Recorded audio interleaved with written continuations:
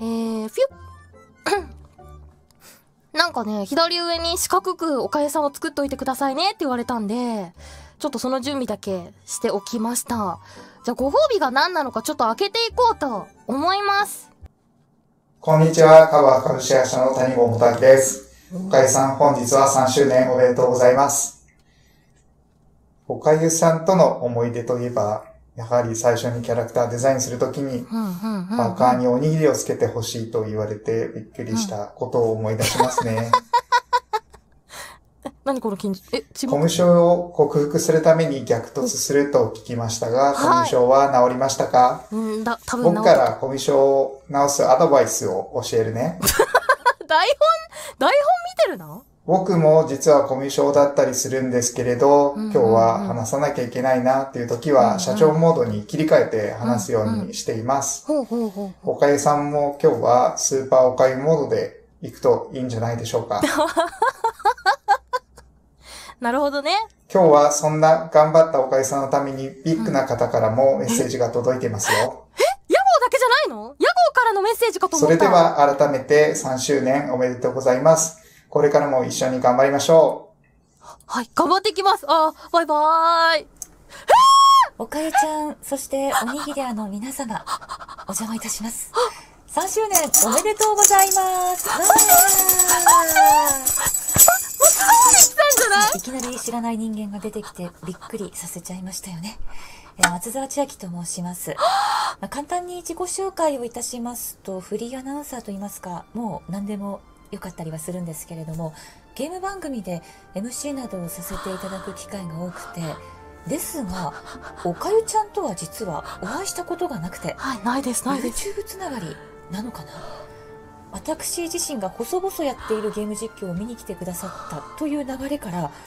いやいや、あの猫又おかゆさんが、みたいな、ちょっとね、びっくりしてしまいまして、そこからふんわりと交流を取らせていただいております。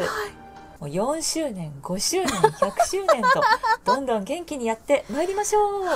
それでは引き続きアニバーサリー皆様お楽しみください。ありがとうございました。ありがとうございました。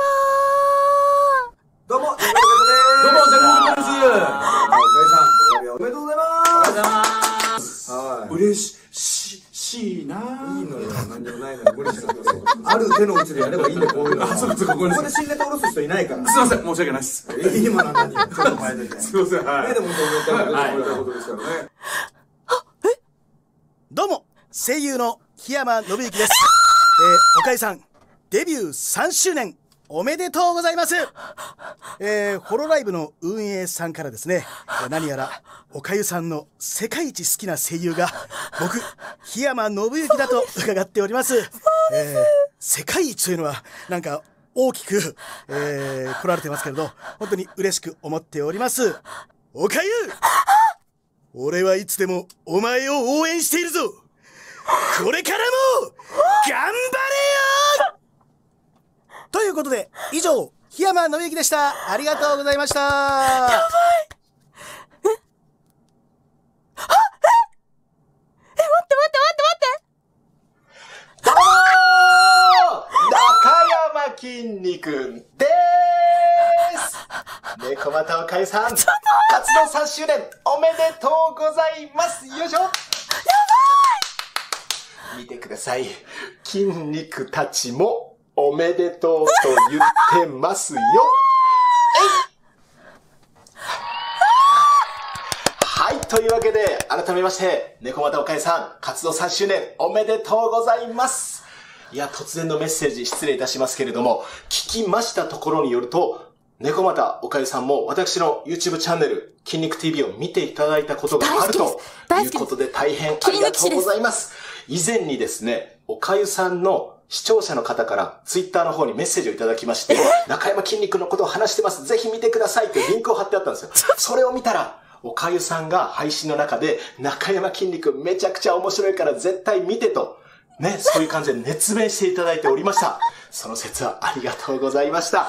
いや、嬉しい限りでございますね。ありがとうございます。さあ、おかゆさんにはですね、3周年と言わずに、5周年、10周年、20周年と、より頑張っていただきたいなということで、しかしね、これからどうなるかわかりません。よって、最後は、筋肉コンピューターにおかゆさんの未来がどうなるかを聞いていきたいと思います。これはですね、イエスかノーかはっきり出ますので、覚悟しておいてくださいよ。はいね。行きましょうか。それでは、行きますよ。筋肉コンピューター。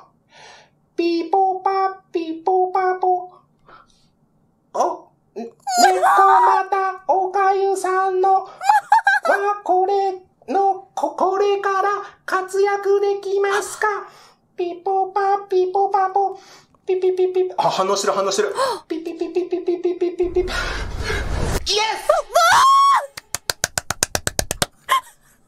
スかな？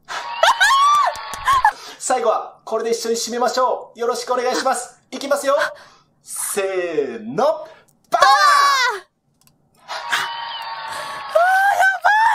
おう、猫。また、おかゆ。ブンブンハロー、猫又おかゆさん。どうも、ヒカキンです。この度は、3周年、おめでとうございま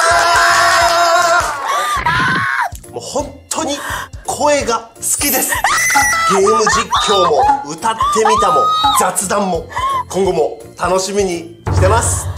まあまあまあ、ね、猫、猫、うん、猫、猫だと思うんですけど、人間換算で言ったらまだ16歳くらいという風に聞いてますけども、そう考えるとまだ、これからですね。僕も頑張るんで、頑張っていきましょううん、ブワー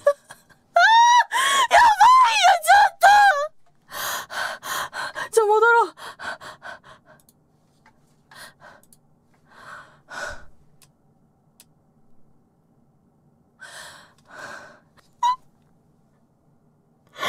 マジだよ、お前、もうさ。待って、頭が、頭おかしくなる。ちょっと待って。やばい、マジで話したいことがいっぱいあるけど、あの、告知とかもあるんで、一旦告知させてもらっていいですか？本当に。その後にちょっとお話しさせてください。あ やばいやばい、台本用意しとけばよかった。こんなことになるなんて。